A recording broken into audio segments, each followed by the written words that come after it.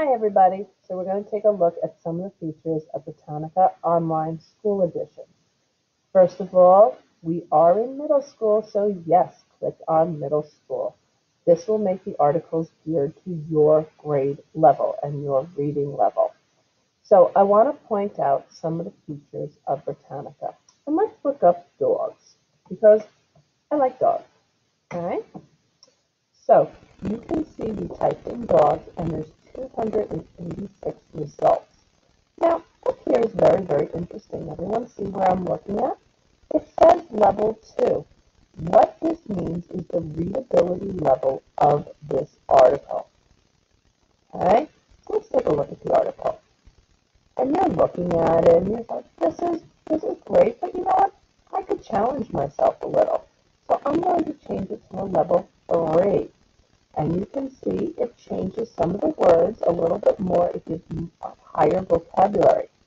Or, if need be, you can change it to a level 1. Now keep in mind the information is still the same.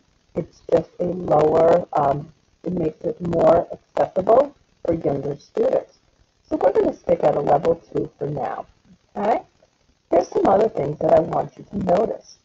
First of all, you can listen to the article if you need to, if you need that extra support.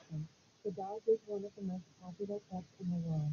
Its loyalty and devotion are legendary, and because of this, the dog has been Cogman's best friend. The dog belongs to the family Canidae. Okay, and I'm going to stop that. Okay, and I just also want to um, say that the dog is also female's best friend, not just male's best, man's best friend. Okay, so that's the first thing I want to do. The next thing I want to point out is the translate feature.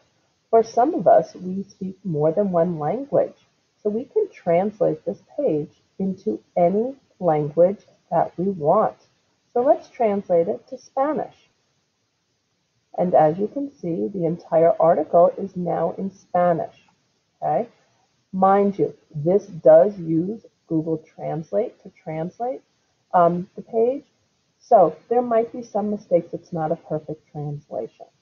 I'm going to stop here for now because I'm almost at the end of the five minutes. We'll click on the video on the next page.